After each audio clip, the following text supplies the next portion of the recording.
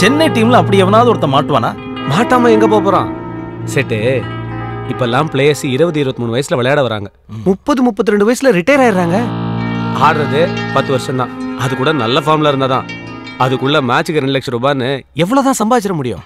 பார்க்க சுமாரா இருக்கிறவன் விளம்பர படத்துல நடிக்க போயிடுறான். பேச தெரிஞ்சவன் கமெண்ட்ரின்னு போயிடுறான். இது ரெண்டுமே இல்லாதவன் துட்டுக்கு என்ன பண்ணுவான்? செட்டு எல்லா டீம்லயும் ஆடி ஜெயிக்க பத்து பேர் இருந்தா ஆடாம ஜெயிக்கிறதுக்கு ஒருத்தர் இருப்பான்ல கரெக்டா சொன்னேன். நீ பணத்தை மட்டும் இறக்கு. ஆளை கவுக்குற வேலையை நான் பாத்துக்கிறேன். சரி. பணத்தை போய் வாங்கிறியா பிளேயர்ஸ் எல்லாம் மூணு நாள் கழிச்சு தான் வராங்க. நான் பணத்தை அப்ப வாங்கிக்கிறேன். அரே கே யார்? மூணு நாளைக்கு அப்புறம்னா நான் திருப்பதியில இருப்பேனே? சாய் லோஜி ஆ?